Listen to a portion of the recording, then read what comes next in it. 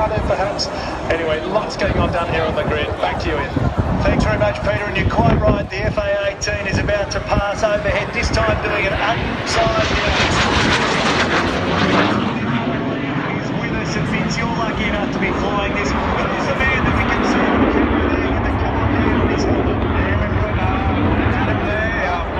Bung. He's, uh, he's up there doing the show, so it's great. Yeah. When we have a look at him, you can see literally the. Have a look at that over the top of Melbourne town. You can see the South Melbourne football ground in there, now the home of the athletics here in Victoria. He's about to do another pass to as well. Yeah, so he's just gone upside down. He's got a fair uh, fan